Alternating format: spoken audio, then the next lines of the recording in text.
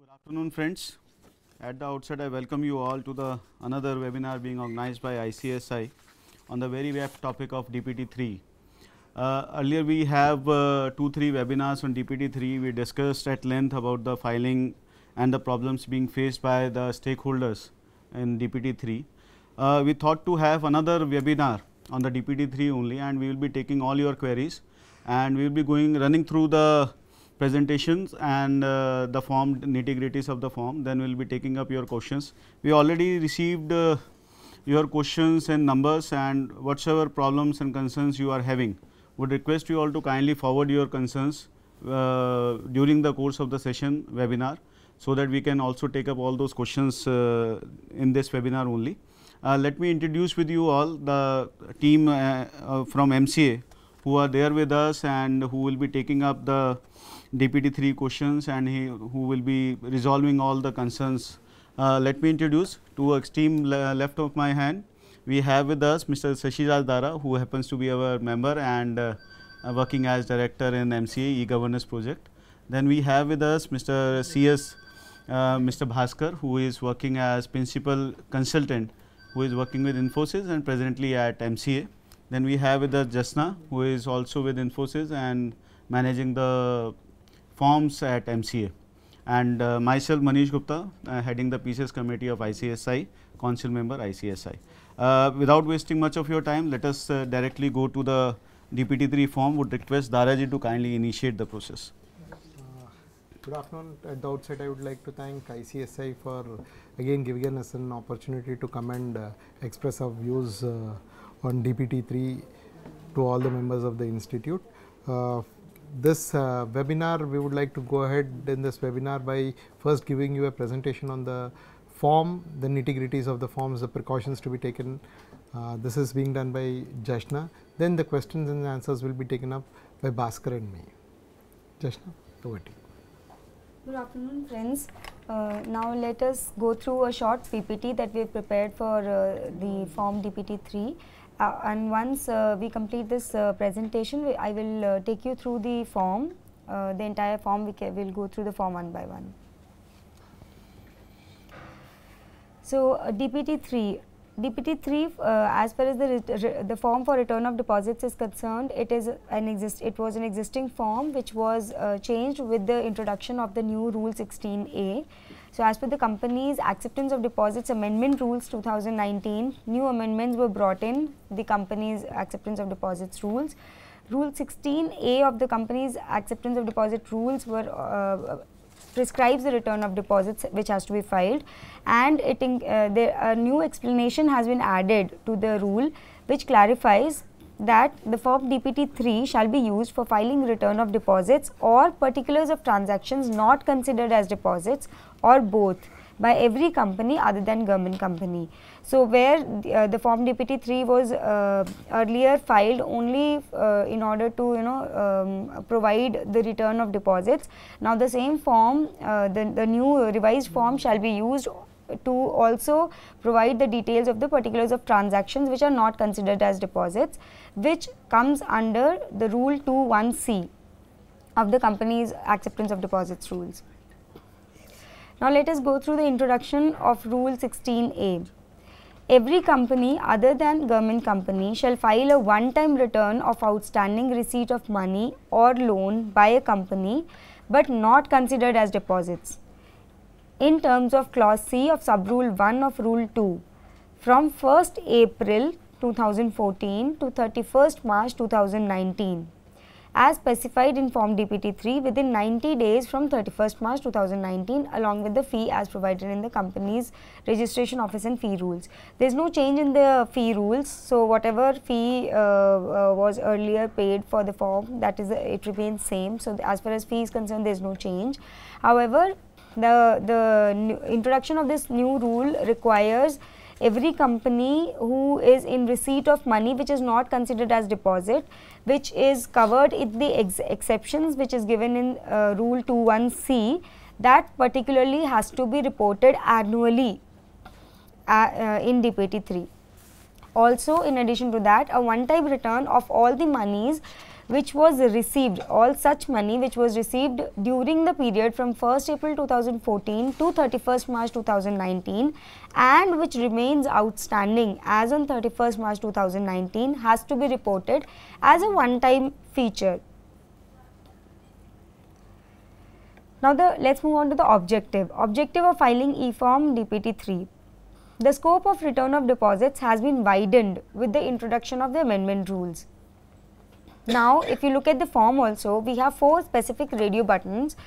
Uh, one number one is for one time return of disclosure which we just discussed which pertains to the introduction of the new uh, rule 16a.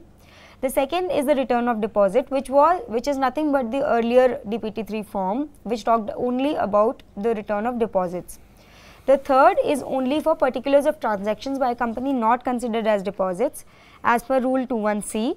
So, this applies to a company which does not have deposits uh, and it has only receipt of money which is not considered as deposits. The third, uh, the fourth and last radio button, it talks about return of deposits and particulars of transactions.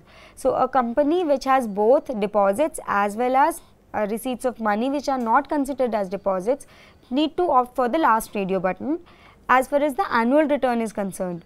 For the one time return only the first radio button has to be clicked. Now, periodicity of filing e-form DPT 3. Explanation to rule 16, the return of deposits or particulars of transactions not considered as deposits or both. So, the time period to file such a return would be on or before 30th June of every year. So, what the time period which was there earlier for filing of the form DPT 3, it remains for DPT 3 as well as particulars of transactions which are not considered as deposits or both. However, insertion of the rule 16a which requires the one time return of outstanding receipt of money, uh, the time period to file this one time return is 90 days from 31st March.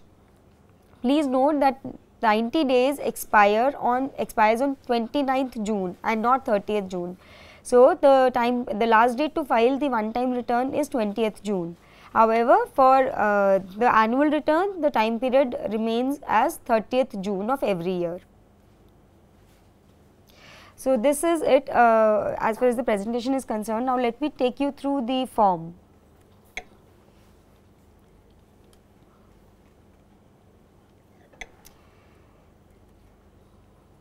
Okay.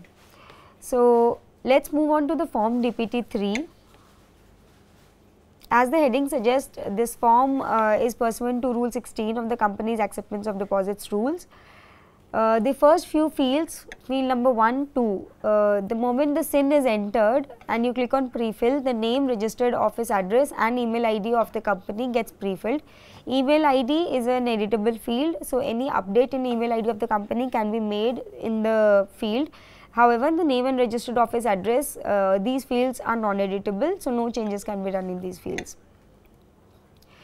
The third, uh, th the third field which talks about the purpose of the form, this we have already discussed uh, in the presentation. So, we have a radio button each for each uh, purpose of the form that is first radio button for the one time return, second for return of deposit, third for particulars of transactions not considered as deposits and fourth for both return of deposits as well as particulars of transactions not considered as deposits.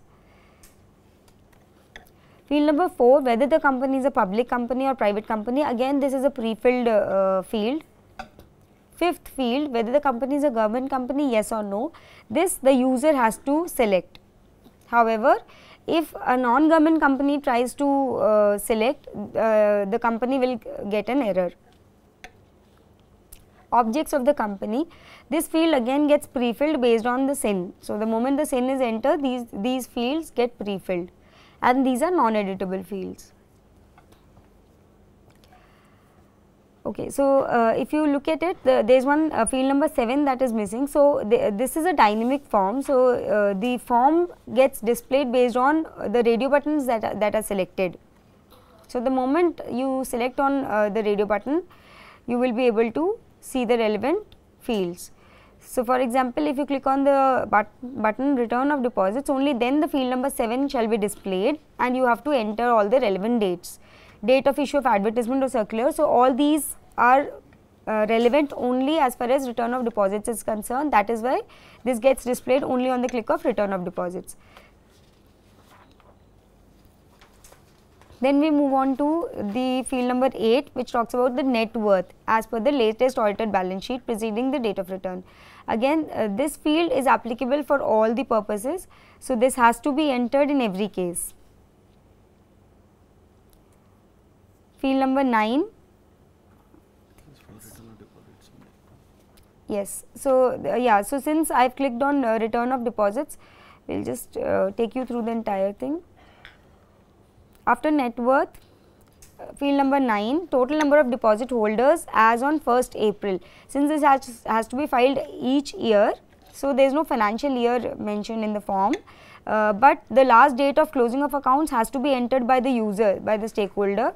So, based, based on the date of last closing of accounts, for which financial year you are filing that gets identified.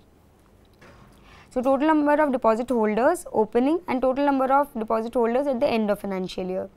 Then particulars of deposits again the movement of uh, or changes during the uh, uh, year in the uh, deposits. So, amount of existing deposits as on 1st April that is the opening balance, amount of deposits renewed during the year, amount of deposits accepted during the year, secured, unsecured, amount of deposits repaid during the year and balance of deposits outstanding at the end of the year. Amount of deposits that have been that have matured but not claimed, amounts of deposits that have matured and claimed but not paid. Number 12, field number 12 particulars of liquid assets, amount of deposits maturing on or before 31st March next year and following next year amount required to be invested in liquid assets, then details of the liquid assets. So, these are all uh, depending upon the provisions of the um, uh, deposits rules. Then the details of any charges, particulars of charges, date of entering into trust deed, name of trustee, short particulars of the property on which uh, charge is created for securing depositors, then value of the property. Then we have credit rating obtained from rating and date this has to be entered. So, these are the fields that are relevant as far as return of deposits is, is concerned. Let us just have a look at what is applicable to while filing one time return. So, if I click on the one time return, so the basic information about the company whether the company is public or private, it is a government company, objects of the company all these have to be entered or pre-filled then net worth again net worth has to be um, uh, details of net worth and how it is computed uh, that has to be entered in all cases. Then if you look at it uh, none of the, the uh, details related to deposits have been asked. The particulars of charge if any has to be entered and then this 14, field number 14 this is the field that is relevant as far as one time return is concerned. So, total amounts of outstanding money or loan received by a company but not considered as deposits in terms of rule 21C of the company's acceptance of deposits rules as specified in rule 16A 3. So, please note that as uh, mentioned in 16A 3 the, um, the outstanding amount only has to be reported here, but what outstanding amount? Outstanding amount which is not considered as deposits which was received during the period 1 1st April 2014 to 31st March 2019. So, any money received during this period and which remains outstanding as on 31st March 2019 that has to be reported in field number 14 in the one time return. Field 16 for credit rating uh, obtained we have already discussed and then uh, attachments auditor certificate and optional attachment. Please note that the attachment auditor certificate is a becomes a mandatory attachment only for return of deposits and in case the form is being filed for return of deposits as well as particulars of transactions not considered as deposits. So, let us look at the third uh, radio button particulars of transactions by considered by a company not considered as deposits. So, if you look at this um, instead of field number 14, uh, field number 15 which has each line by line item of the um, amounts which are exempted and not considered as deposits as per rule 21c has been given in a tabular format and amount is any outstanding amount is expected to be entered against these fields. So, uh, any amount received from the central government or a state government or any amount received from any other source whose repayment is guaranteed by the central government or state government or any amount received from a local authority or any amount received from statutory authority constituted under an act, act of parliament or a state legislature. So, if the company is in receipt of any such amount uh, which is not these uh, amounts since it is not considered as deposit has to be entered here. Any amount received from foreign governments, foreign or institutional banks, multi, multilateral financial institutional institutions, foreign governments owned development financial institutions, foreign export credit agencies, foreign collaborators, foreign body corporates, foreign citizens. So, all of those amounts have to be reported in B. Any amount received as a loan or facility from any banking company or from the State Bank of India or any of its subsidiary banks or from a banking institution notified by the central government under section 51 of the Banking Regulation Act or a corresponding new bank as defined in clause D of section 2 of the Banking Companies Acquisition and Transfer of Undertakings Act 1980 or from a cooperative bank. So, this particular section of uh, clause C relates uh, to any amount received from a bank. D it talks about any amount received as a loan or financial assistance from public financial institutions notified by the central government or any regional financial institutions or insurance companies or scheduled banks as defined in the Reserve Bank of India Act 1934. E any amount received against issue of commercial paper or any other instruments issued in accordance with the guidelines or notifications issued by the RBI. F any amount received by the company from any other company.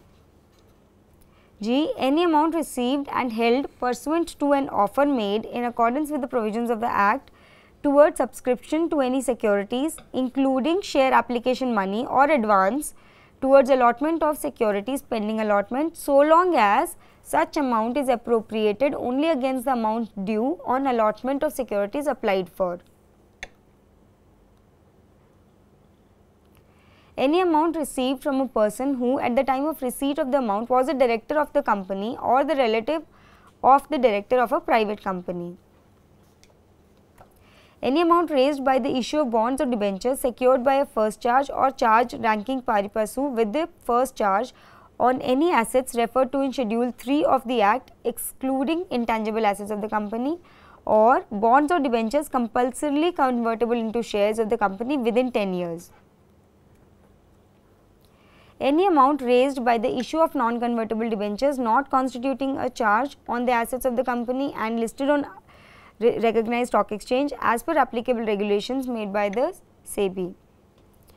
Any amount received from an employee of the company not exceeding his annual salary under a contract of employment with the company in the nature of non-interest bearing security deposit. Any non-interest bearing amount received and held in trust any amount received in course of or for the purpose of business of the company as an advance for supply of goods or provisions of services accounted for in any manner whatsoever provided that such advance is appropriated against supply of goods or provisions of services within a period of 365 days from the acceptance of such advance. As advance accounted for in any manner whatsoever received in connection with consideration for immovable property under an agreement or arrangement provided that such advance is adjusted against such property in accordance with the terms of agreement or arrangement. As security deposits for performance of the contract of supply of goods or provision of services, as advance received under long term projects for supply of capital goods except those covered under item B of clause 12 subclause 12 clause C of subrule 1 of rule 2 of the company's acceptance of deposits rules. As an advance towards consideration for providing future services in the form of a warranty or maintenance co contract as per written agreement if the period for which if the period for providing such services does not exceed the period prevalent as per common business practices or 5 years from the date of acceptance of such services whichever is less. As advance received and allowed by any sectoral regulator or in accordance with the directions of central or state government, as an advance for subscription towards publication whether in print or electronic to be adjusted against receipt of such publications, any amount brought in by the promoters of the company by way of unsecured loans in pursuance of the stipulation of a lending financial institution or a bank. Any amount received by a Nidhi company in accordance with the rules made under section 406 of the Act. Any amount received by, of by way of subscription in respect of chit under the Chit Funds Act 1982. Any amount received by company under any collective investment scheme in compliance with the regulations framed by SEBI. Any amount of 25 lakh rupees or more received by a startup company by way of convertible note convertible into convertible into equity shares or repayable within a period not exceeding 5 years from the date of issue in a single tranche from a person. Any amount received by, by a company from alternate investment funds, domestic venture capital funds, infrastructure investment funds, real estate investment trusts, mutual funds registered with SEBI. SEBI. So, these are the details of the amounts that are not considered as deposits as explained in rule 21 C. So, any amount which has been received by the company from 1st April 2000, uh, uh, any such amount, the details that we just discussed, the tabular form, any such amount which was received during the period 1st April 2014 to 31st March 2019 and remains outstanding as on 31st March 2019 the, the outstanding such the total of such an outstanding amount has to be reported in the one time return. However, the line wise detail of each such amount has to be given annually in the annual return. So, if you uh, look at it attachments again uh, auditor certificate as well as optional attachments. However, auditor certificate becomes mandatory only in case return of deposits is being sub submitted. The remaining portion uh, talks about the declaration that has to be given by the uh, company that is trying to file the form.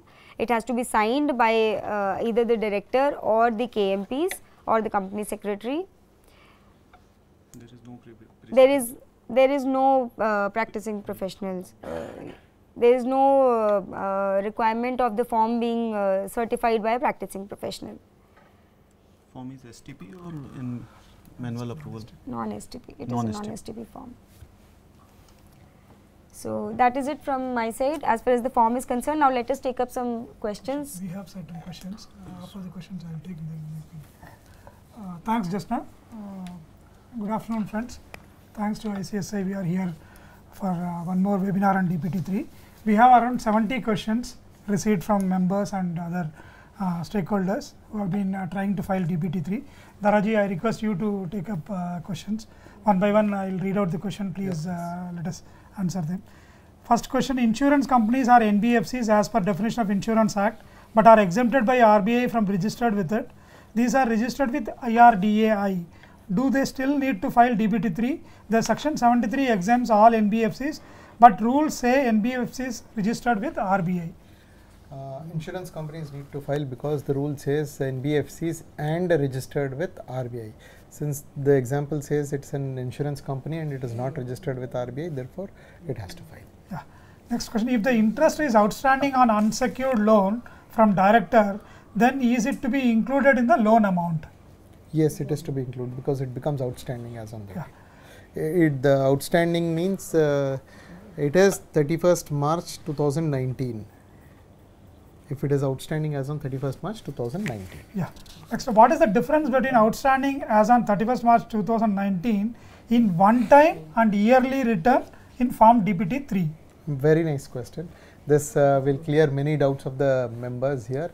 Uh, one time return talks only about all outstandings, all uh, uh deposits which were exempted under rule 2.1c from 1st April 2014 to 31st March 2019. As on 31st March 2019, if any of such exempted deposits are there, then it is the duty of the company to file one time return. Then As regarding if there is any uh, outstanding as on 31st uh, March 2019, the yearly return is also due. That means on 29th you have to file the annual return, the one time return and on 30th you have to file the annual. So, a company may be filing two returns. Yeah, at this Uh, point of time for this time this year DPT only three, two forms. DPT 3 two forms for exempted, yes. very specifically for exempted. Yeah, next So I would like to highlight something in it. Uh, let us discuss this particular thing, one-time return and the annual returns. For one-time return, as Jasna has just told, for one-time return, the amount is required to be outstanding on 1st of April 2014 and remain outstanding on As on 31st, March 31st March 2019. 2019. Yes. People are having confusion with respect to no, No, no, no, no, no. Actually, it uh, I mentioned the- that the amount need not be outstanding as in 1st April 2014. Any the amount should be received received. and on or after 1st April 2019. for one-time return. yes, hmm. Yes. yes, yes. Any am- am- amount received during 1st April 2014 to 31st March 2019. It was due, received during that period, but it is remaining outstanding as on 31st March 2019. This is for annual return, One time return. one time return, sorry. This is for one-time. Only one time return. Okay. Any amount received after, that is more important because people are getting confused about this word after. After 1st April 2014, that is after the commencement of the new Companies Okay. Act, after 1 4 2000 till 31st March 2019, during this period, if you have received any exempted deposit and that still remains outstanding, Outstanding. as on 31st March 2019, then you have Then the same is required to be reported in, in one-time one time. Yeah. Okay. If the amount, as the amount is pending in 31st March 2019, you have to report it in the yearly also. In Because that case, we, year we, if ca- you we can we can say that that uh, the balances on 31st March might be the same balances for one-time return and in the annual Yes. returns. Yes, maybe, maybe Might sometimes. yes. In most Only of the cases, the balances would remain the same for both of the these. No, no, no. Let's not get confused. In one-time return, all balances which are receipts from f- April 14 to 19 will come, but in yearly return, only those which are due from 1 4 2018 to 31st March 19, if received between these two dates, Not only the outstanding. But still Let me complete. outstanding. Still outstanding as on Still 31st. out. Any amounts received which are exempted from 1 4 2018 to 31st March 2019 and are still outstanding as on 31st March 2019 are to be reported in yearly return. Okay, okay. We are not going to consider for the annual return, we are not going to consider any amount which was received in the year say 16, 17 or 17, 18. We are not going to take the balances of those account. Yes. We will be taking only the balances. All those balances are getting covered in one time return. Right. Only this yearly return talks only about this The balances received within Yes. the current year. Yes. Okay. Do you have anything Do you to have say, any doubts? Uh, well, the understanding is that um, uh, if it is an annual return, then annual return has to give the details of the outstanding amount. So outstanding could be of any amount mm, Any- pertaining any to year. any year. Yes. But only for one time return is do we have this lim- uh, period that that amount should have been received during that period and is still outstanding on 31st March. But when we talk about annual return, annual It am- could be return, for any year. any period received at any period, Any but it period. is still outstanding. During the lifetime of the company. Yes. That is the clarification. Okay. Yeah. Whether uh, amount of rent received in advance need to be mentioned in Form DPT 3. Yeah, we have to check that specific laws in Rule 213C. Yes, it Yes. has to be reported. Yes. If uh, due for more than 365 days. Yes, in that it's more than 365 days. Number five, whether uh, the details of outstanding amounts have to be on the basis of audited accounts. What if accounts are not audited by June 30th, 2019? Uh, we have to understand one thing DPT3 has been uh, re- previously in 1956 Act it has been known as return of deposit ROD. We used to file it along with uh, Form 62. Now we are filing ROD. Both were being filed as on 30th June itself. The date of filing also has not changed. All the figures stated in this are not audited. That is the reason we are taking auditor certificate in return of deposit. Whether auditor or audited or unaudited, they have to be Auditor certification is mandatory. Yes. Next, uh, whether auditor certificate is compulsory while filing one-time return and yearly return. auditor certificate is mandatory. You might have uh, seen while uh, just now was just now was uh, showing the DPT three. The moment you click on button number two, radio button number two of return of deposit, then only auditor certificate becomes mandatory. In one time return as well as yearly return of exempted deposits, auditor certificate is not mandatory. However, auditor certificate is mandatory for return of deposit and return of deposit plus exempted deposits which you are reporting in radio button number 4 So, radio button 2 and 4 Four requires auditor certificate mandatory. mandatory. Accordingly, the firm also prescribes the auditor certificate. If you do not attach, then firm will not go further. Yeah, next uh, question, in one time return, we need to consider outstanding amount as on 31st March 2019, but cutoff period is from 1st April 2014 or outstanding as on 1st April 2014. From 1st April 2014, it is not outstanding as on 1st April 2014. Uh, we know that uh, after commencement of Companies Act 2013, we have made a return called DPT 4 where we had to uh, report on all such deposits. So, it is after 1 4 2014. Next question is a repeat question, Daraji. Uh, we will go to the question number 9. Facts loan of 20,000 is taken from director on 1st April 2013. Another loan of 20,000 is taken from director on 1st April 2015 and third loan of 20,000 is taken from director on 1st April 2018. Okay, in this period that is uh, two loans have been taken at the rate of 20,000. All loans are outstanding as on 31st March 2019. His query is as per webinar of ICSI held on 24th May, in one time return we will report exempted deposit amount as 60,000. As per webinar of ICSI held on 24th May, in one time return we have to report all transactions before or after 1st April 2014 which are outstanding as on uh, March 2019. Please confirm.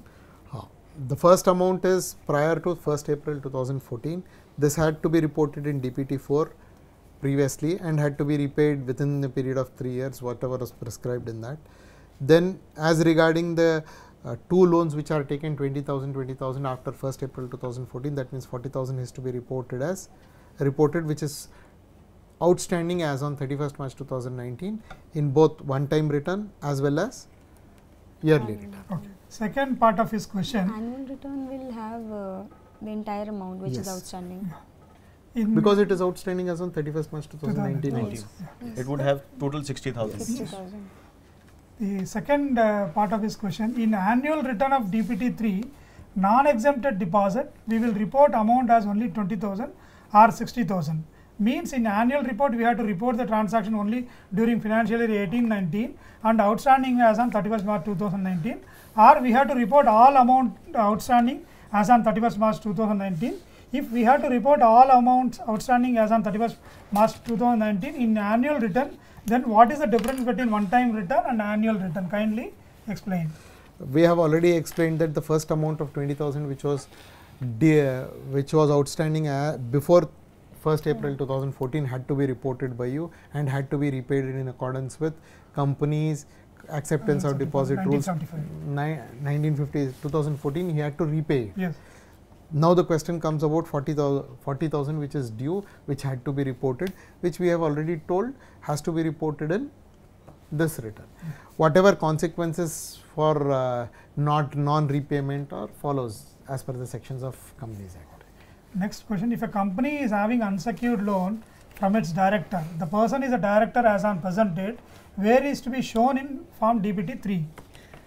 There is a rule of a specific portion in the form that is in column number 15 and uh,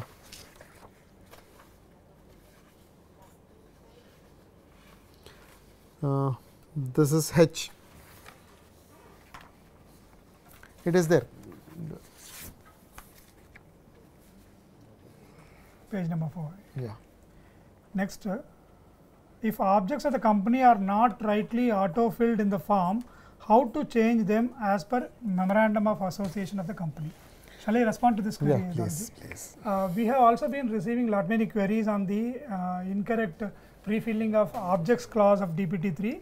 Please be aware DPT 3 the objects are not in sync with whatever is filled in MGT 7.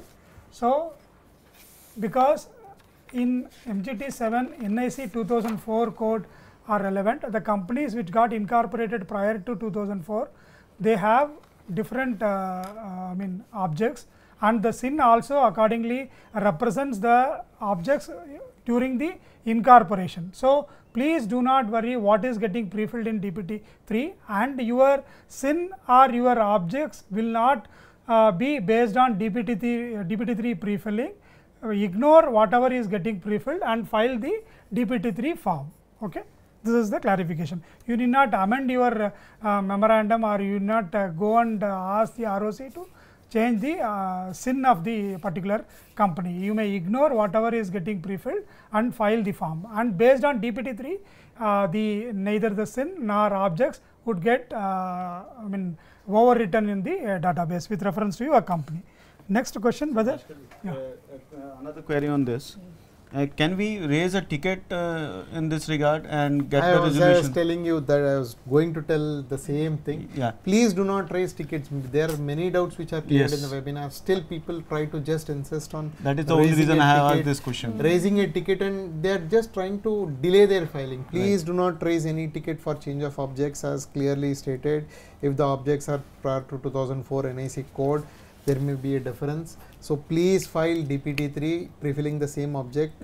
This is not going to anyway be changed. The what is pre-filled in the database is based on the CIN of the company. It is not going to change anything in the database. And while filing MGT7, you have a provision where you can give the description of the object that. And I remains the hope there would be no repercussion from the ROC side because this form would be approved by the ROC.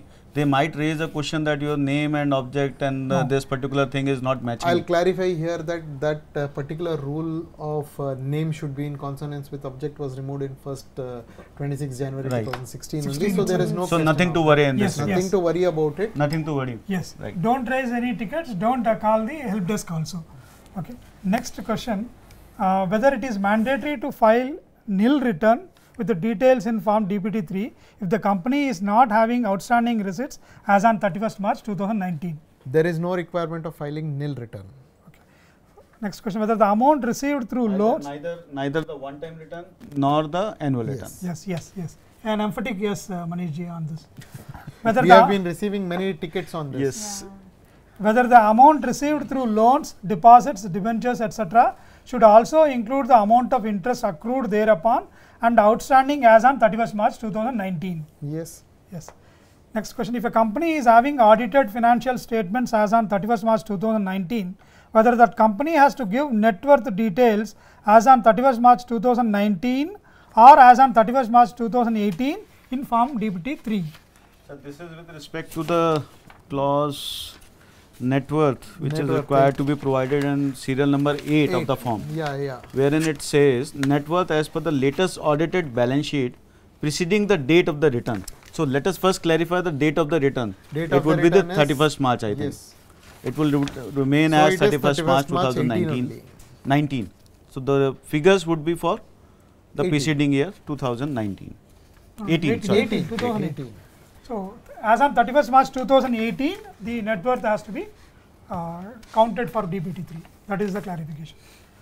If there was a share application money received as per the previous company law and the same is pending allotment till date, then is the same considered to be a deposit or not? Yes, it is considered to be a deposit and you have to file the return. Yeah. Both ROD also. Next, in Legally, they cannot have the share application money which was received Mm, long prior back to- uh, prior to the To It becomes a deposit. because uh, there was a notification uh, by which it was required to be either repaid, repaid, yes. or refunded or allotted. Something Yeah. was required to be done with respect to all those application money. As on date of commencement of Yes. Companies right. Next, the consequences will follow for non-allotment. Yes, obviously. follow, yeah. 16. In case of attachment in DPT 3, is the auditor certificate mandatory for all the four radioactive buttons for the purpose of the firm? I think Jasna has uh, very emphatically clarified. It is only for second radio button and fourth, Fourth radio. fourth radio button that has to be uh, mandatory in respect of auditor certificate. Second, uh, next question, in case of one-time return and annual return of DPT 3, do we have to file returns for company where there is no such reporting. Not required. Not required. No. If you have any if you have received any exempted deposits from 1st April 2014 up to 31st March 2019 and they are still remaining outstanding as on 31st March 2019 have to be reported. For DPT3 annual return, do we need to provide the details of the transactions entered by the company in financial year 18-19 and still outstanding as on 31st March 2019 or give details of all transactions entered by the company since uh, 1st April 2014 and still remains outstanding. Uh, It is I in think respect he's, of annual return. he's talking about exempted annual Yeah. return for exempted. Yes, that is what I think he is referring to. You have to give only the figures, total figures and not all transactions. It was clearly told by Jashna, you can please repeat it once more. So, uh, yeah, so uh, in case if uh, the form has to be filled for the annual return, then all the amount that is outstanding as at the financial year end, the details of all those transactions uh, line item wise based on uh, what, what is the heading and uh, if that amount is outstanding then total of uh, the outstanding amount whatever is outstanding as of the financial year end date that has to be entered in the That form. means column 15, item wise, whatever Yes. amounts are pending, only that outstanding amount is to be entered, not all transactions. correct No bifurcation is required, no details of the parties. Whatever is mentioned in nothing. the form, the form As per column the number the heading outstanding balances and on, as on As on- 31st of March is required to be filled. as per the heading of the form uh, Yes, field. yes, yes, exactly. For companies incorporated on or after 1st January 2019 and whose first financial year ends on 31st March 2020, the audited financial statements are unavailable as on date. In such cases, how to fill the date of last audited accounts closing and how to fill the details of net worth as in these cases the accounts for 31st March 2019 remain unaudited. Uh, there is no requirement for you to fill. I think the form will allow him to upload ROD. If he has, it depends on what uh, form he is filling, whether he is filling exempted deposits, whether it is filling return of deposit, whether he is fi- filling only annual return. It depends on that. Because as far as I know, uh, has explained during her this thing, uh, during her presentation also, the moment you select radio button number 1, column number 8 and 9 are not required.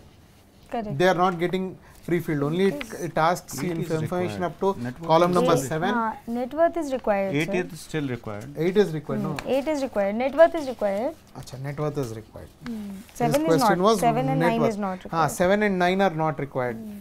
but uh, i think we, we i think generally sir the suggestions gets that we give give at that that the in such cases where the accounts are not audited like the first time accounts we generally ask them to use uh, the figures as per the unaudited balance sheet that is what we have Of the current balance suggesting. sheet, Correct. not for the Yes. preceding balance sheet. because There is that no is what is preceding. available No preceding yeah. is Okay. available, so we have to fill the current year's Yes. figures in that. Next question, government company is not required to file form DPT3. What to do about those government companies which are wrongly shown as non-government companies? they can still file the form sir. They can still file the form. Uh, government companies not sho- not shown as no, shown as non-government companies. Uh, there may be very specific cases where uh, while at the time of incorporation after 2006 you might have uh, selected the wrong button while incorporating as private company not a government company then in such cases go and contact the concerned ROC With or follow proof. with adequate, Adequate proof, proof. and get your CIN, CIN change. change. CIN Ah, change. correct Then only you will be under exempt category of government companies. Otherwise, you may have to file DPT3. Unless otherwise, system recognizes and uh, jurisdiction ROC recognizes your company as government company, there is no uh, exempt route. Next uh, question is form DPT3 to be filled by each company twice in this month on or before 29th June and 30th June even in nil cases. Nil cases, nil no. cases, no return is to be filed. No return is to be filed in nil cases. Okay. All four radio buttons need not be filed. Yeah. If the amount is outstanding as on 1st April 2014 and the same amount is outstanding as on 31 3 2019, then in both the returns, nil amount is to be uh, reported. Both the returns, amount is required to be reported. Ah. Amount how is many- required to be reported. Yes. See, if, he, if his question is, I have an amount as on Outstanding 1st as April. on 1st April 14, as per Companies Act 2013, whatever was there as on 1st April 14 had to be returned Refunded within uh, refunded and DPT 4 had to be filed. Mm-hmm. If he has not done, there are separate consequences for that. And during the period from 1st April 14 up to 31st March 2019, if he has received any amount and that is outstanding as on 31 319, then he has to file these returns if they are exempted. Sir, uh, it says the amount is outstanding as on 1st April 2014. ma'am. that means it was outstanding open. He had to file DPT 4. He had to. Yeah. So this amount, that, uh. this amount he ne- need not uh, He need tell not in tell. one-time return. Yes. Right. So this amount he only has to file in Annual one return. annual return. Annual return. Yes. Next So, question. Do you have anything? no. So nil basically he need not file the one-time return First and he has to file in the annual Annual return. Third return. Because it is still outstanding. Correct. Correct. Next, the company which does not have any loan taken, loan taken has to file the DPT3 form. No. We have taken loan from promoters as per exempted deposits. Do we need to show in DPT3? Yes, you have to show. It falls under the uh, exempted under Rule 21C. You have What amount shall be fed in one-time return of DPT3, whether it would be balance outstanding as on 31st March 2019 or difference between the amount outstanding as on 31st March 2014 and 31st March 2019. The amount outstanding as on 31st March 2019 has to be shown. Yes. Next, uh, though it is a repeat question, uh, I will ask whether auditor certificate is required for one time as well as yearly return for exempted deposits under DPT 3. No, it is only required for return of deposit that is radio button number 2 hmm. and if you have return of deposits any deposits with you you have to file return of deposit plus if you have any exempted deposits that is radio button number 4 for these two it is mandatory that auditor certificate is to be there. Yeah. Where does the loan from members within the limit of exemption to be mentioned in DPT 3?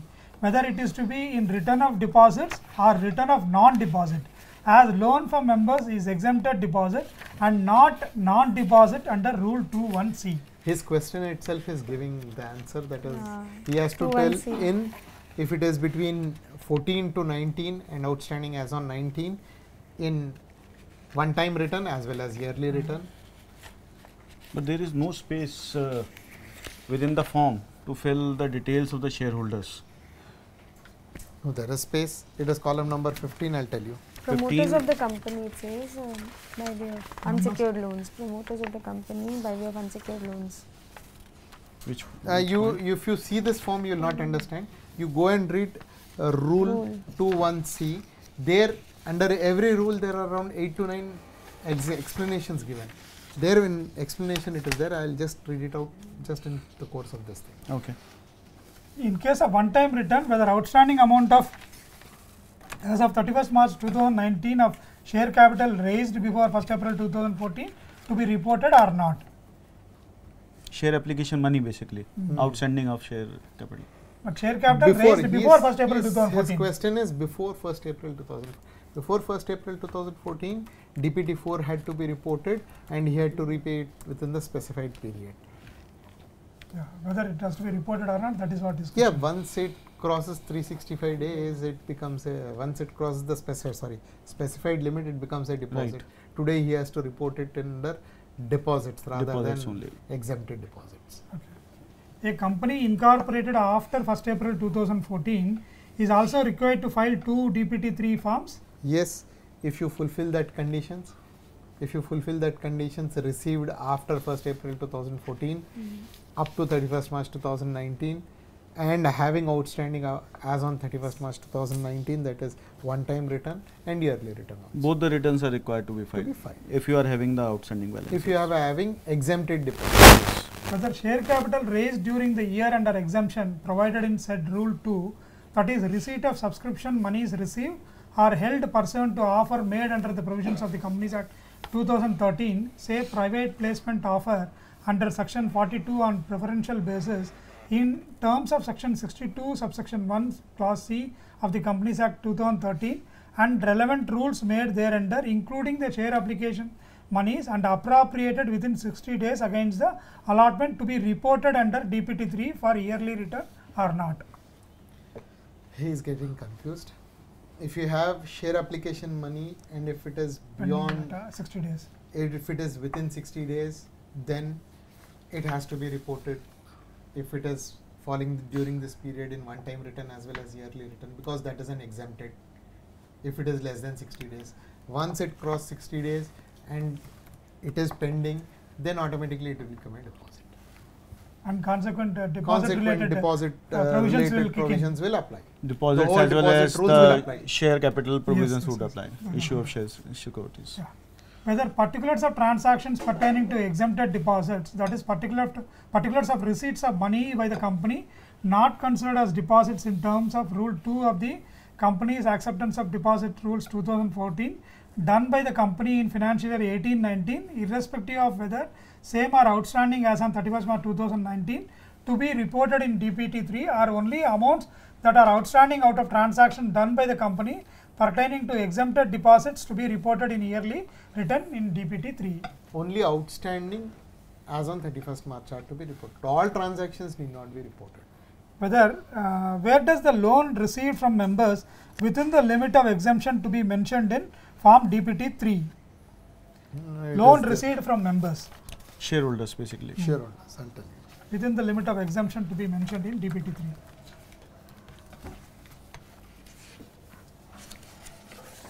Yeah, boss. Ah, next. If a company is newly incorporated after 1st January 2019 and as per the definition of financial year can close the books in the subsequent year, then such a company will have to file the one-time return or annual DPT3 with unaudited net worth figure. As such, a company should file both the returns or only one-time return.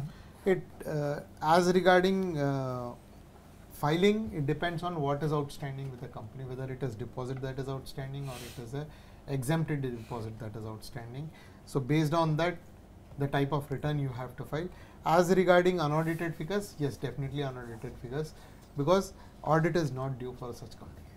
What will be net worth for a company which is converted from private from partnership firm on 2nd March 2019? Uh, it is better dependent on the case which is to be specified because uh, we cannot answer without any facts of this case. It is a very specific case. It is better to consult the concerned chartered accountant or a registered valuer or value. Okay. How to calculate net worth for companies incorporated after 1st April 2018 as the word in the form is net worth as per latest audited balance sheet preceding the date of return. Yes, this is what we told because you don't have whatever is the calculation of the net worth based on the uh, company's balance sheet has to be done. Okay. It is Because based on the current year's balance figures only. Auditor's bal- audited balance sheet is not available for that. If a company is newly incorporated after 1st January Same 2019, was asked. Yeah, I think this is Net worth figure. Yeah. Whether separate form is to be filed for each category and each year. Category. Category. Yes. Maybe So the Category- radio Maybe buttons. radio Maybe, button. maybe, maybe the radio buttons. Radio button number one is applicable only for this particular year. From next year onwards, radio button number one is not required if you have filed it this year. Hmm. Radio button number two speaks about return of deposit, which was already there, has to be filed every year if you have deposits, if you are falling within the category of deposits. Radio button number three is only if you do not have deposits, but you have only exempted deposits under rule 21C, then radio button number three. However, if you have deposits as well as exempted deposits, then please use radio button number three. That means henceforth from next year onwards, you will be only having three radio buttons, not radio button number one. And there will be no question of two returns. Yeah. Uh, there will be no question of two returns from next year on. Next Either either return of deposits or annual return is required. Either you'll, ha- you'll have a return of deposit or you'll have a annual return. return, you'll have No, a annual annual return return or you may have both together in the same. Yes. Yeah, next five questions are repeat questions, Dharaji, Okay, up to 42. So, uh, we will take the next uh, questions. What would be the duties of a company secretary while filing DPT 3? Manish, Manish Gupta uh, will be answering that. Duties of company secretaries are going to be very vast. You need to check each and every balance which is available on the balance sheet as on 31st of March 2019. You go, you have to go through with the each of the balance sheets available with you and filed with the ROC. Uh, starting from 1st April 2014, you have to check each of the balance sheets uh, available uh, up to 31st of March 2019, and you have to very cautiously file each of the fill each of the fi- um, uh, field available in the DPT3 form. In case of one-time return, do we need to take outstanding figures from 2014 or amount of loan accepted during 5 years shall be reported? In case of one time return, do we need to take outstanding figures? From 2014 or amount of loan accepted during 5 years shall be reported. We have to be very clear here. Many times it has also been explained what is outstanding as on 31st March 2019 is to be reported. If it is after 1 4 2014 only and not each year figures. Consolidated Because- figure is required consolidated to be reported, figures as on 31st March 2019. which is outstanding. Which is Yes, outstanding, Which yes. is outstanding. Form doesn't provide for every year. Uh, next question, sir. Uh, what is the meaning of outstanding money? It is uh, as per uh, company's acceptance of deposit rules 2014 that means if there are deposits it's deposit 99 percent we are talking about monies which are not as deposits so it is the same Next question is on auditor certificate, but uh, in a different uh, format. Is auditor certificate mandatory to be attached with DPT 3? If yes, in what pro forma or the certificate should testify what fact? uh, auditor certificate is mandatory in dpt 3 uh, For radio button uh, radio and four. button number 2 And and four. 4 this is the same certificate which we have been producing from past 1975 onwards there is no specific format uh, the question is better posed in to the chartered accountant. other professional institute than here Next question, please clarify through this example, outstanding amount as on 31st March 2014 was 1 crore. Thereafter, in the year 15, 16 and 17, 18, there was addition of 30 lakhs and reduction of 20 lakhs respectively. Now, does the company need to report the final figure as 1.10 crore in point number 14 of DPT3 or it should be only the current status of 1 crore which is outstanding as on 31st March 2014? uh, it has to report what is outstanding as on 31st March 2019. However, here is a rider that what was outstanding as on 1 4 uh, 31st March 2014 was to be reported in DPT 4. It has not reported, those consequences are totally separate. But what is outstanding is to be reported from 1 4 14 to 31st March 2019. Point- Point number 14 uh, is talks about one-time return. So basically, this person has to report only He 10 lakhs. To, he has to only report. Let's not talk about the figures, man, because he is trying to uh, Okay. confuse with the figures. Because our members who are listening to this webinar will go by these figures and Right. they may get Hmm, confused. Okay, sir.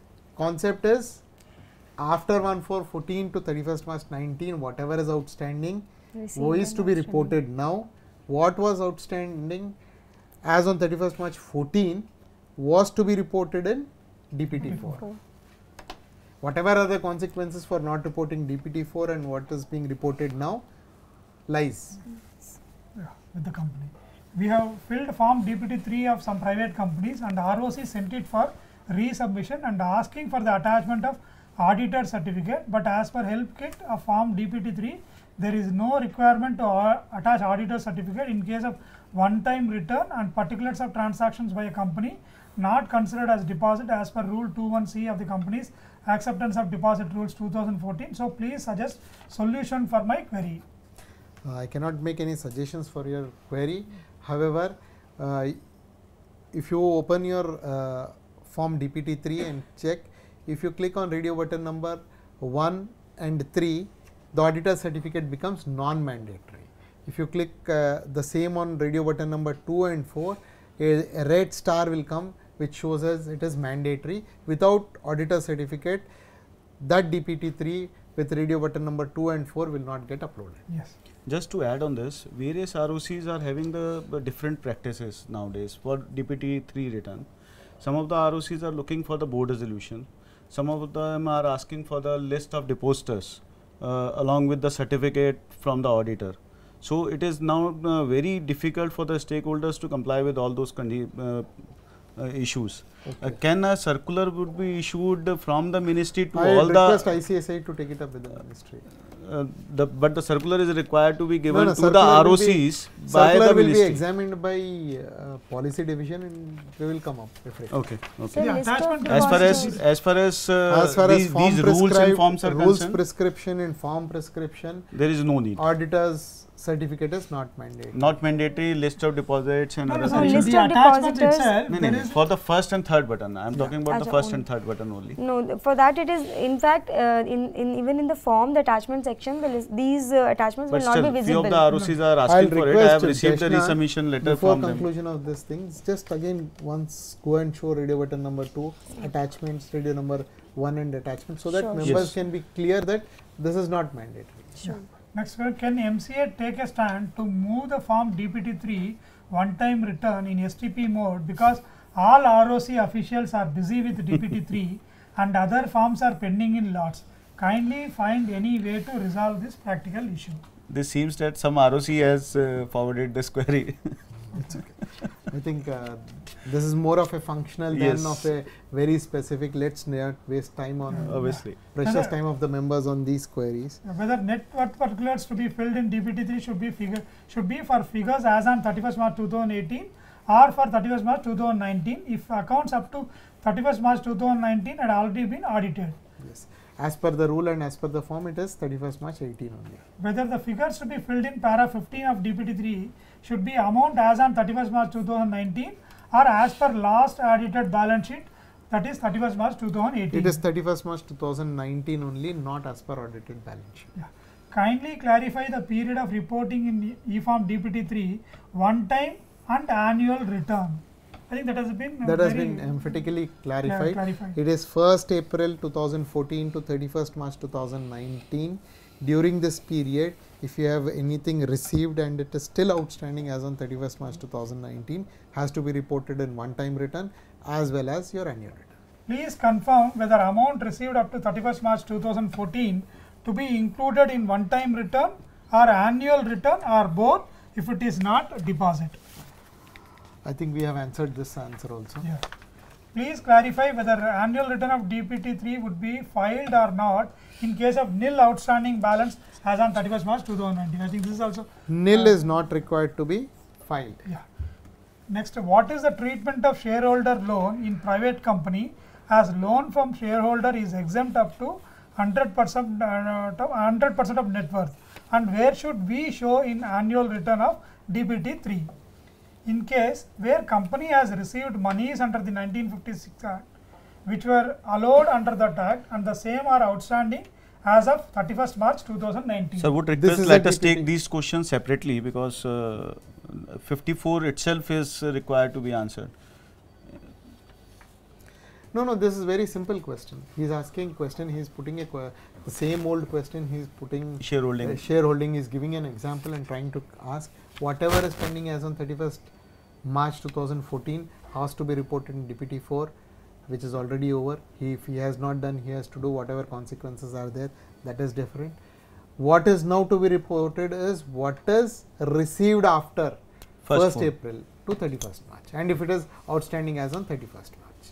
Okay. So first question you have answered, I mean first part. Yeah, yeah, first part. D, in case where company has received monies under the old act and which were allowed under that act and the same are paid on or before 31 3 2019. question does not arise at all because act had told you to pay it before 3 years if you have paid it need not be reported And even in that case, DPT even if, DPT if it is required to be reported to, uh, it has already been paid. Yes. yes And then uh, C part of his question, in case company has received deposits after 1st April 2014 and the deposits are outstanding after 31st March 2019. Anyway, he has sir. to file dpt 3 Hmm, that yeah. means deposit return of deposit has to be filed in this case that is point number 2 And uh, point uh, 4 of his question, in case company has received deposits during the period 1 4 2014 and the amount has been repaid in full before 31st March 2019. He has to file return of deposit, that is mandatory. He has already repaid in full. Okay. He is talking about deposits, not talking about exempted Okay. deposits. In one time return, whether if during the year 1419 no fresh receipts but only outstanding has been carried forward from previous year 13 14 Same question, uh, and still outstanding. Yeah. So the same question, anything, any deposit which before 1st April, that is 31st March 2014, had to be reported in DPT4 and had to be repaid. If not repaid, Yeah. this this these RODs are not prescribed for that. Yeah. It becomes and automatically becomes a deposit, and he has to file Return of deposits. and all consequences. for it. Uh, let me repeat a few of the repeat questions for more clarity No to the problem, members because same questions are being asked and a lot of uh, what you call confusion in the minds of stakeholders regarding the periodicity and the uh, exempt uh, deposits. Loans existing before 1st April 2014 are to be reported in one-time return or yearly return. Only after 1 4 2014 are to be reported. Okay, next part of his question. Under yearly return, loans taken during 1st April 2018 to 31st March 2019 and outstanding till 31st March 2019. Is it correct? Yes, it has to be reported in radio button number 1 as well as 3. Yeah. Both one time return as well as yearly. Next. Do we need to take loans taken in any year between 1st April 2014 to 31st March 2018 under yearly return? If outstanding, yes, otherwise, no. Yeah. Deposits from shareholders, is it a deposit or a deposit exempt under Rule 21C? Uh, it is an exempted deposit. Okay. We'll have to, I'll have to clarify on this. There are two points which are to be clarified, Yes. Which I'll clarify. Yeah, next, uh, as per uh, exemption notification dated 5th June 2014, 15 and further notification dated 13th June 2017, procedural exemptions from clause A to clause E of subsection 2 to section 73 have been given. Further, a proviso has been put which is reproduced as under provided that the company referred to in clauses A, B or C shall file the details of money, money is accepted to the registrar in such manner as may be specified. Should we consider it as an extension to the definition, definition of exempt deposits or is it uh, merely a procedural exemption however which is also a very important exemption. We have to check it, Bhaskarji. This is very specific. Uh, we have to once more check it and then go. Okay. Because it's talk, talking about the procedural aspects which are given in Okay. section. Okay. Next question. As per ICSI webinar, a CA certificate is not required for exempted deposits both in one time and annual return, but in practice, ROC official asking for CA certificates. Institute will take it up with uh, ministry. Yeah. Since the form is not in STP mode, how the ROC officer will verify the data in the absence of any supporting documents and CA certificate? In fact, what ROC official will check in form without any supporting documents?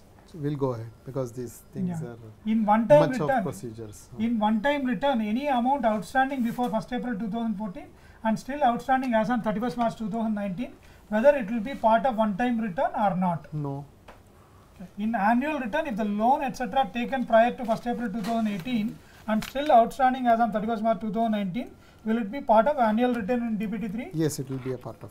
Whether on-time return should include amounts accepted before 1st April 2014 if they are outstanding as on 31st March 2019. No, 1st April 2014, before 1st April. Yes, yes. Next. I'll, I'll read it, Bhaskar.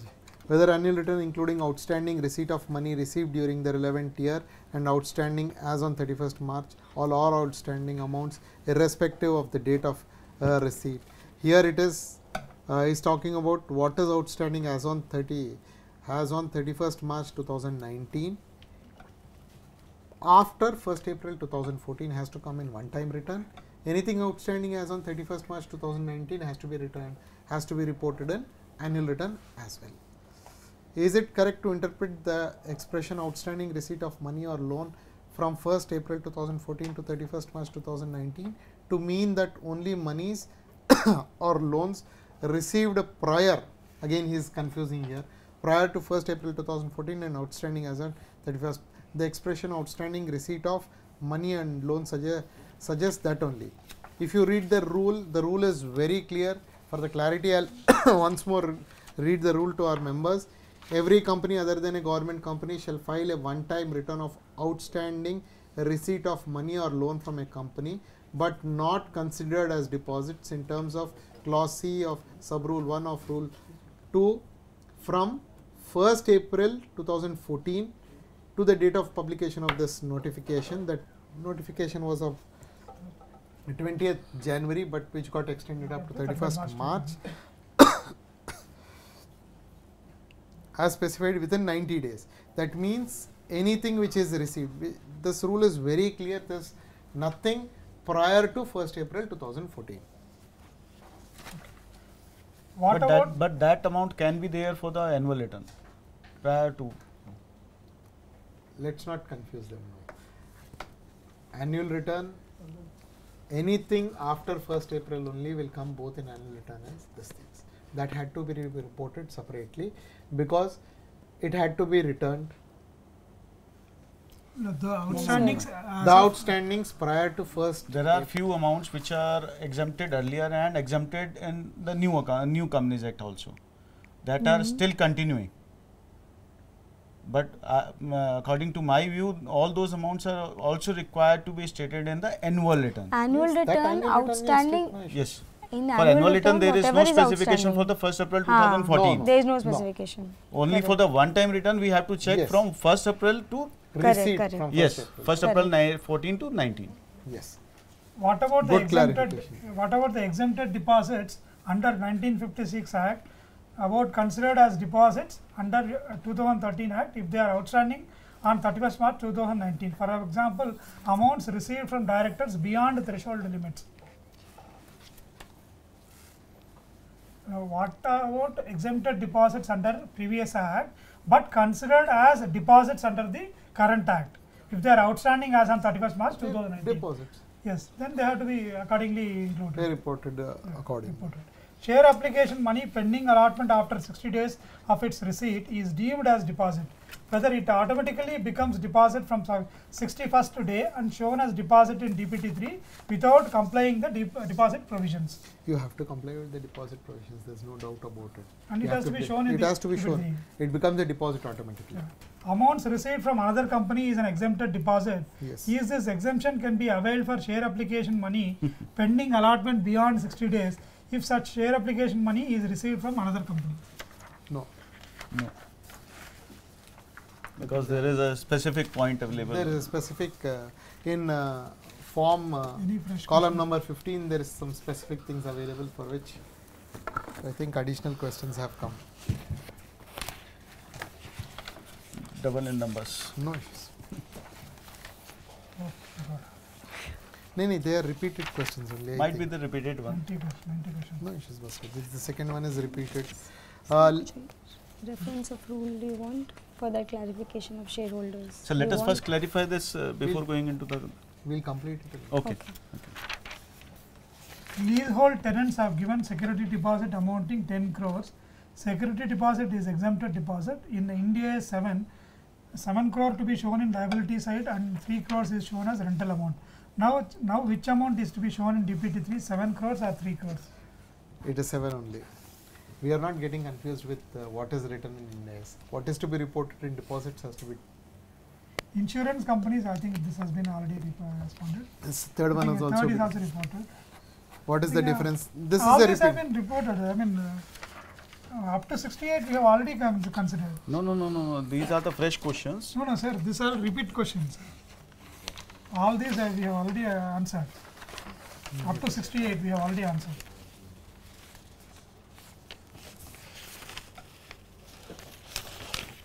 This is a question which need to be answered. 71.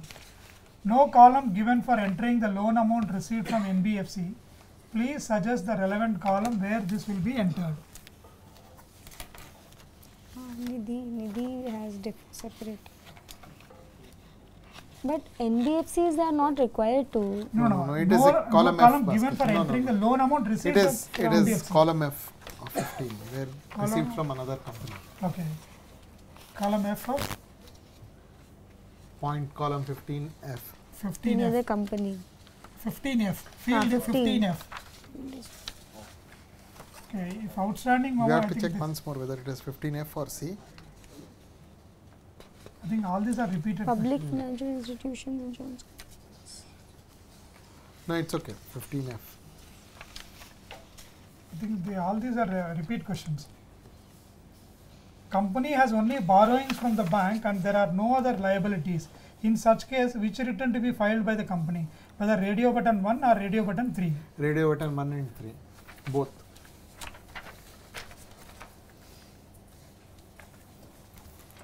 In that case, any borrowings from the banks or the wherein the charges are also been created, that is also required to be reported Yes, it is because be it is part of because 21C, It is uh, 21C and it uh, falls under 15 clause C. right? Amount received as a loan from any bank. So whatsoever is there in the loans and advances, companies need to check uh, from where they have received and uh, they have to report it. And if they fall under this categories mentioned here under rule 21C, if then report it. Sir, question number 80, whether subsidiary received from central government will be considered in this point. Any amount received from the central government or a state government or any amount received from any other source whose repayment is guaranteed by the central government or a state government or any amount received from a local authority or any amount received from a statutory authority constituted under an act of parliament or a state legislature. It has to be reported. Point number one of uh, the exempted 21C. Uh, 21C 1. When if it is outstanding, Hmm, if it is outstanding. generally the subsidy is being exhausted. It is only generally being booked within the financial Yes, year. for one time return, if it is received between April, uh, April, 1st April 14 to 19 and it's outstanding as on 19 only, it has to be reported. it has to be reported. Yes. For the annual 82. returns, if the if the subsidy has been received during the year and And still uh, showing outstanding. outstanding balance is there on the 31st March, then only it is required to be reported. Otherwise, it is generally exhausted within the year. Next, uh, definition of net worth and net worth calculation. Hmm, we have already as per explained. it. DPT3 is different. Whether we need to attach certification about such difference. Definition of net worth Net worth. Yes. and net worth calculation as per DPT3 are different. That is what he says. Definition net worth as per the rule uh, se- uh, rule two of the Hmm, section that- two That's of the different, totally. Net worth here for uh, clarity of numbers, net worth, what net What is worth they want in DPT3 is clearly mentioned. Clearly so you mentioned. have to go by specific, acceptance of deposit rules, not by. not by the general definition given in the uh, act itself. If we have taken loan from any bank other than SBI, then in which category it has to be taken? Loan facility from any banking company It is or first scheduled point. bank as That defined is in given. RBI. A loan facility from any bank.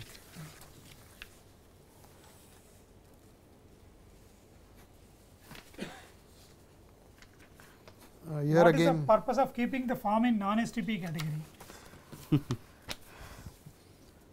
better answered by. No, no, ROC wants to exercise due diligence No, over the the ROC has deposits and exempt deposits uh, collected by the bank, uh, I mean companies. That is why it has been, Sir, in this due diligence, they are asking for lots of documents Yeah. actually. Institute has to represent in this matter properly. what are the minimum uh, documentation? What are the minimum documentation? Should be there Yeah. going forward. Institute has come has to come up with some guidance note for the members. Till the time institute is making representation, can we expect anything from ministry, any guidance to the ROCs that, that, uh, that also yeah, somebody has to come and take it up with the ministry. Nobody ministry doesn't know all these Okay. things unless we came here. We did not know there is a problem exists. okay, also. okay. And at local levels, uh, chapter levels also, you have uh, representatives from the Right. institute. They better represent before the appropriate forums because RDs also easy are also easily accessible to the members. Mhm, So mhm, this is uh, an interesting question. If person resigns from the post of directorship after giving unsecured loan to a company, then will the amount be considered as deposit? It is exempted deposit. I think it is coming under H. Yes. 15H. At the time of accepting deposit, he, he he should be a It director. should be a Director. director. It is, these Not are all afterwards time-tested required to be checked. If a company has issued CCDs uh, for 19 years and uh, allotment in respect of the same has been made, whether it will be considered as deposits. Also as per rule 21C9, the time, time period of CCDs is within, within 10 years. If we issue CCDs for more than 10 years, whether it will fall under deposits or exempt deposits It will fall under, of course, deposits. Further, uh, beyond 10 years, you have other provisions also. I think that's it, uh, Manish. We have come to the conclusion of the questions. Yes.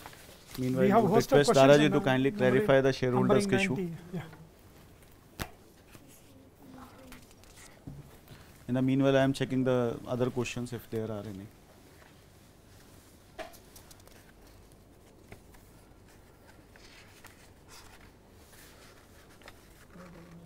Yeah, that's what I told. There are explanations be below everything. If they fall under this category, then you have to. That is Rule 21C uh, 13. If they fall under that category, they are required. But there is no point uh, wherein the uh, figures No, are required to be filled. No, no, there is Actually, a point. There is shareholders uh, I'll show you. uh, one is missing. no, no, I'll show you. It is there. It is there. Uh, Clearly, point- it is there. I'll show you.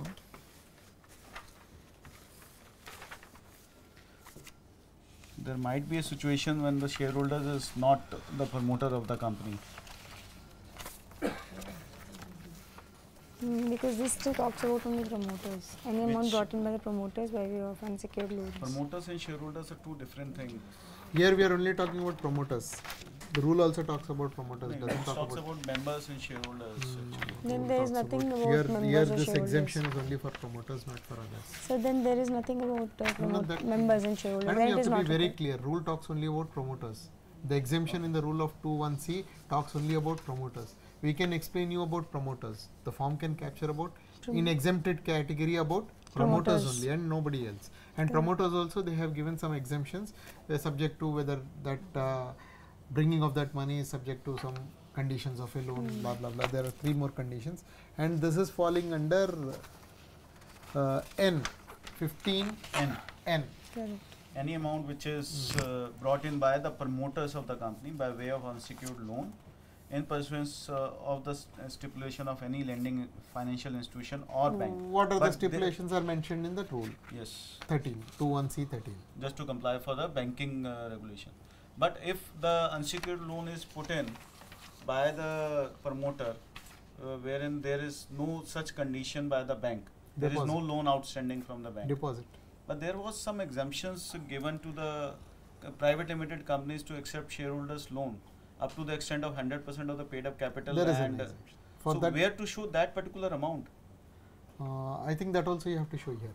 There is no here other- only no there is no other field so No other would field. request our stakeholders wherein you are having any Oh, amount from the 100% uh, shareholders up to the extent of hundred percent of the paid up capital and free reserves and you are complying with other conditions like uh, you have filed all the due annual returns and balance sheets then you can show your uh, figures in the promoters column 15n otherwise it has to be reported in return of deposits That's all. Uh, that's all.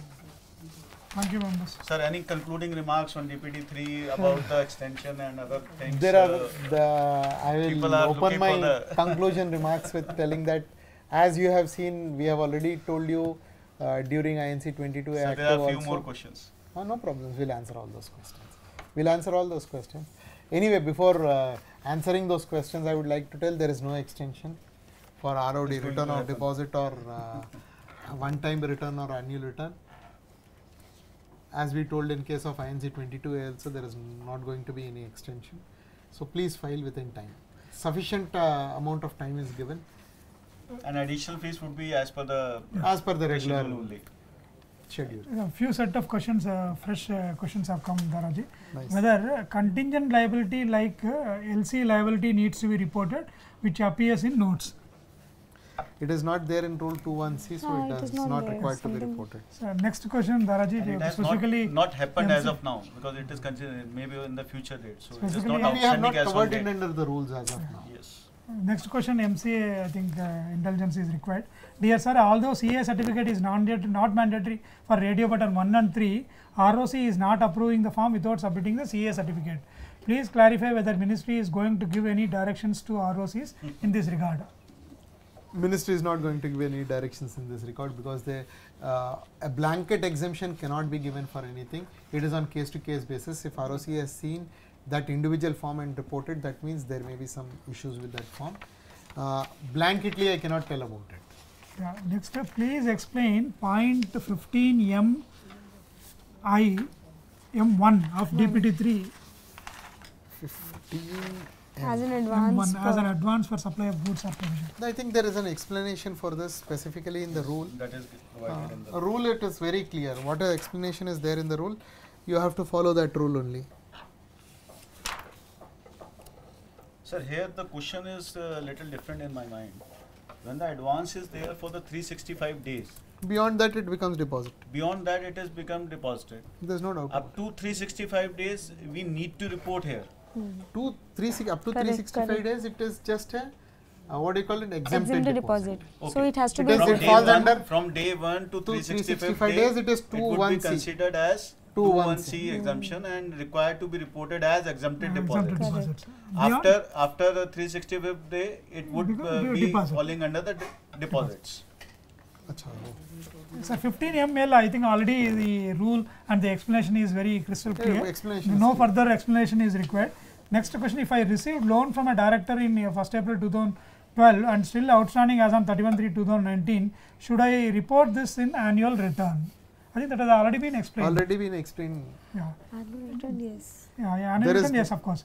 There is no mandatory mark in case of second and fourth radio button for auditor certificate. How is this differentiated from first and third? Madam, you have to show it. I think dynamic, it is a uh, dynamic form. Form is a dynamic form. The moment madam will show you now. If you Second click and on second, automatically auditor certificate will come with a red And mark. other other details would also be there. Other details also. List of deposits. Actually, and they, other, uh, they, If you the put form. radio button number 2, Two. automatically column number 15 is there 13 14 15 these are not available there if you press only radio button number 2 however if you press radio button number 4 the whole form whole opens. form would be there. also and the auditor certificate becomes mandatory also all the stakeholders will not get an error if they do not attach the auditor certificate if it is not required for the first and third radio button but for the second and fourth radio button if you do not uh, Attach attach, the the certificate. uh, auditor certificate then you will not be able to upload the form itself Yeah. Next question, deposit scheme closed in 2004 and mature deposits neither refunded to deposit holder nor deposited to IEPF due to CBI order. Same was reported in DPT 4. Please advise how to report in DPT 3. you have to report it in dpt 3 Yes, yes, there is no escape route. And they can attach the CBI order and They Yes. all all those orders uh, that is the explanatory reason statement. that is the reason we cannot tell about blanket permission Yes, whether yes. auditor is there what roc is saying for such special cases you have to Yes. apply mine Yeah. Please clarify whether only principal amount needs to be reported outstanding as on 31st March 2019 or the principal amount along with the interest needs to be reported. I think it is only principal as per rules we have to check it. We'll clarify it. If But generally, generally, just to add. uh, If for it the is outstanding, it's it- accrued and It it's is uh, outstanding. outstanding on 31st March 2018 and the interest part of the year 2018 has also been added. And the total outstanding is being shown in the balance sheet of 2019. So whether to take only the principal or along with the interest. Actually, the word used in the rule is outstanding, So Outstanding. interest, interest is also Interest is outstanding, also which is also part of the deposit. which is also a part of deposit. 31st March 2019, whatever is outstanding, we're telling. Automatically, and that belongs to the deposit. we are only. using accrual principal only. Yes. Automatically, principal plus interest should. Principal plus interest should be there. As we have done in the MSME form also. Yes. If the company has both deposits and exempted deposits, is it required to file a separate form by selecting radio button 4 in addition to radio button 1 and 3? Please suggest. Point number one. If you have for one time return, it is mandatory to select point number one as well as point number four hmm. in this particular year. If company is incorporated on 15th December 2018 and accounts close on 31st March 2019, but company accounts not audited, then what is the net worth amount? Can we assume paid up capital as a net worth amount? I cannot tell you because uh, without facts and figures we cannot tell what Full is facts. assumed, but net worth as per calculation mentioned in the rules. We. And in that case, uh, net worth of the current year is required to be. Only current the year, because company- you don't have a- Company was incorporated on 15th of December. You don't have a previous balance sheet, audited balance sheet where you can calculate your net worth. Some of the ROCs are asking for attaching declaration from director or relative of directors. Kindly provide solutions. For the solutions cannot be provided, it is written in the rules which you have to comply.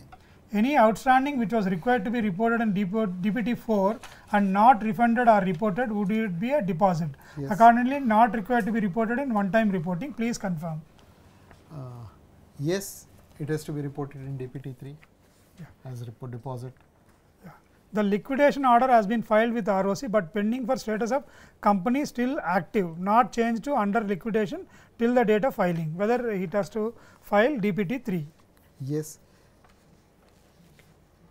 Based on your So under, company is under liquidation and the OL is being appointed or the liquidator is being appointed then you have to go to the ROC and get it marked as liquidation. Under These liquidation. questions need not be asked. under such a liquidation is uh, the process has been initiated. These questions need not. That's what I'm telling you. These questions. If you ask me the question, then I'll say yes.